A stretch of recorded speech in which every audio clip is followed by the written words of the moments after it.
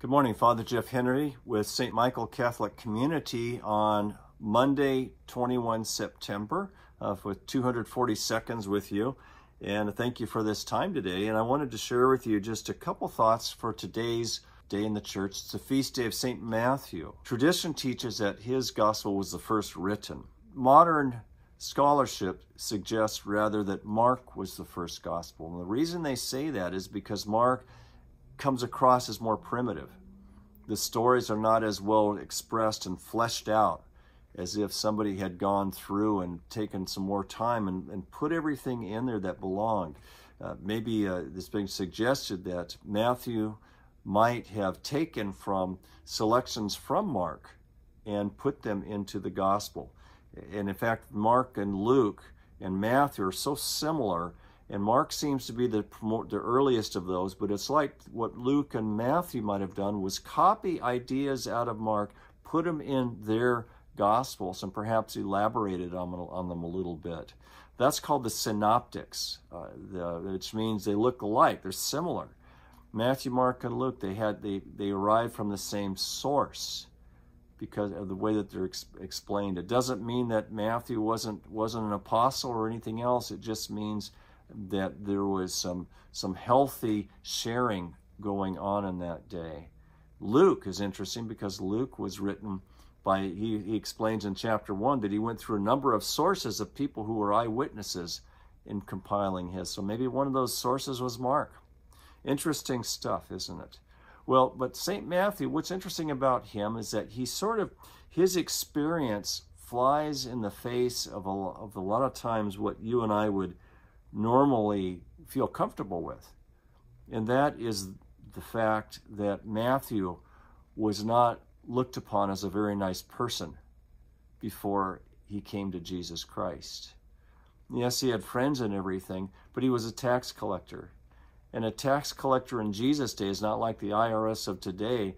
They worked for the enemy, the Roman government, and what they would do is that Rome said, well, this is the amount that you're supposed to tax the people in order to help Rome out, is take this from the people, which was, was enough of a, an insult to the Jewish people. But the other thing that the tax collectors did, which really annoyed people, is that they lined their pockets when they gave people their tax, how much taxes they owed. They would say, well, this is the amount that Rome requires, but to themselves, they'd say, well, I'm going to raise, I'm going to require them to pay this much so that I can live off this amount of money. I can profit. And so they were looked upon by the Jews as as bad as in their in their eyes as maybe a prostitute or a sinner, quote unquote, just a general sinner, a bad person. And that's what the tax collectors were looked at. They weren't associated closely with the church or anything.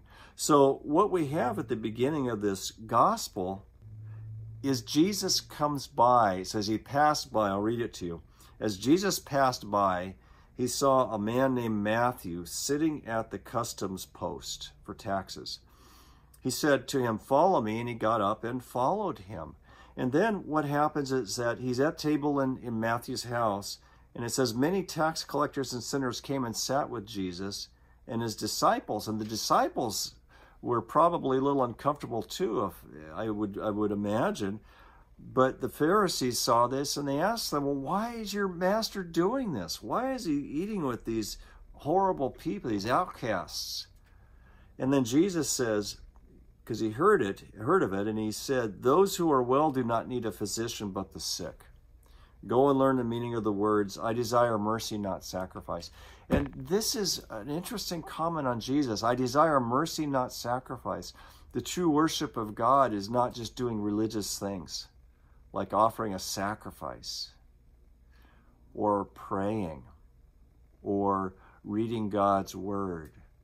All these things are good, of course, but if they don't change us, toward becoming a merciful person, to be merciful as our Heavenly Father is merciful to us, to forgive as we are forgiven, to show love and compassion on a person who's struggling or who is caught in the traps of sin, but rather just dismiss them and not want anything to do with them.